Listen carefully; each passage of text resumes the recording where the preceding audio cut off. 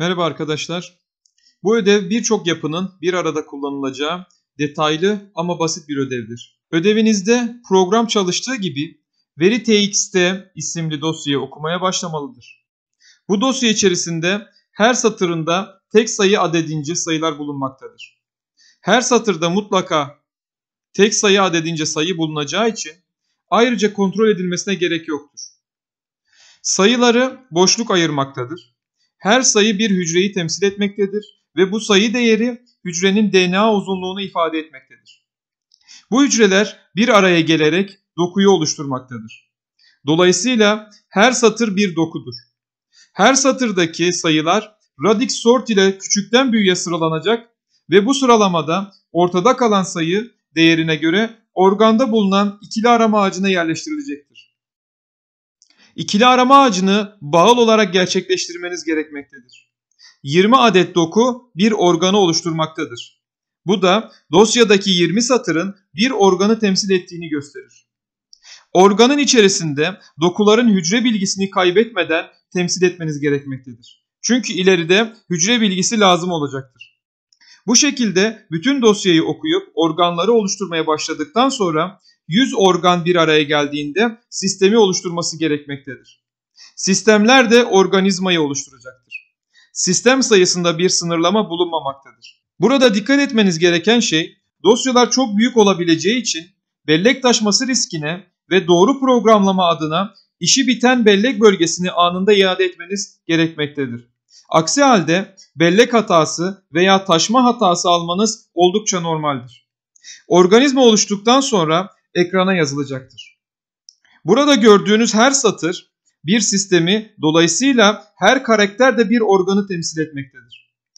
Organ yazdırıldığında eğer içinde bulunan ikili arama ağacı dengeli ise boşluk karakteri, ağaç dengesiz ise DS karakteri ekrana yazdırılacaktır. Denge kontrolü AVL ağacındaki kabule göre yapılmalıdır. Bu şekilde organizma ekrana yazdırılmış olacaktır.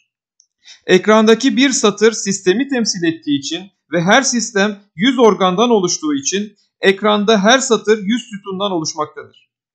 Ekrandaki boşluk kısımları da organizmaya dahildir.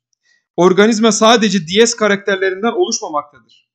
Ekranda organizma göründükten sonra kullanıcı Enter tuşuna bastığında organizma mutasyona uğrayacaktır. Buradaki mutasyon kurala bağlıdır. Organlarda bulunan ikili arama ağaçlarının kök düğümlerinde bulunan DNA uzunluk değeri 50'ye tam bölünüyorsa bu organı oluşturan dokuların hücreleri koşula göre mutasyona uğrayacaktır. 50'ye tam bölünemiyorsa organ mutasyona uğramayacaktır. Dokuların hücrelerinde mutasyon koşulu, hücrenin DNA uzunluk değeri çift olanlar mutasyona uğrayıp hücrenin DNA uzunluk değeri yarıya düşürülecektir. Çift olmayanlar mutasyona uğramayacaktır. Yani mutasyona uğramayacak yapılar kök düğümlerinde bulunan DNA uzunluk değeri 50'ye tam bölünemeyen ve 50'ye tam bölünüp de dokuları oluşturan hücrelerinin DNA uzunluk değerleri tek olanlardır. Mutasyona uğratıldıktan sonra bütün bir organizma yeniden ekrana yazdırılacaktır. Burada aynı çıktığı elde etmenin en önemli kuralı sadece mutasyona uğrayan ikili arama ağaçlarını post order okuyarak bir diziye atmak ve dizilerden başlangıçtaki dosyadan okuma mantığına göre ağaçları yeniden oluşturmaktır. Yani yine radix sort ve orta değerin belirlenme aşamaları mutasyona uğrayanlar için gerçekleşmesi gerekmektedir. Diğer bir önemli husus bu çıktı farklı yollarla ve yapılar kullanarak da tabii ki elde edilebilir. Fakat ödevin en önemli kısmı istenen yapıları kullanarak ve adımları takip ederek çıktığı elde etmektir. Bu anlamda minimum sınıf tasarım düzeni bu şekilde olmalıdır. Test programı hariç diğerlerinin hepsi sınıf olarak tasarlanmalı ve görev sorumluluk paylaşımı buna göre uygun bir şekilde yapılmalıdır. Evet örnek bir veri txt'yi inceliyoruz. Gördüğünüz gibi her satırda e, tek sayı adedince aslında sayılar bulunmakta.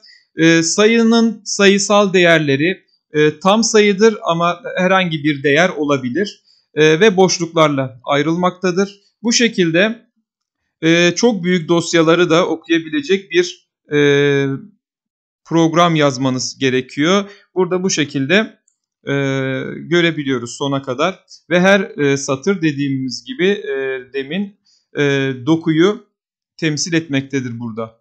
Evet programı çalıştıralım. Deminki veri txt dosyasının programı okutulduğunda ve demin bahsettiğim işlemler e, kuralına uygun yapıldığı zaman organizma bu şekilde ekrana gelmesi gerekiyor. E, bu örnek dosyayı da videonun açıklama kısmına e, koyacağım. Organizma ekrana geldikten sonra kullanıcı Enter'a bastığında organizma mutasyona uğratılıp mutasyonlu hali yeniden ekrana yazdırılmalıdır.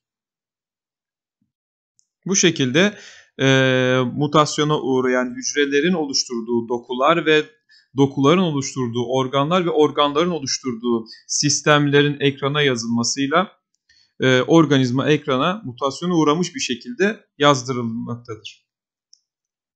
Ödevinizde başarılar.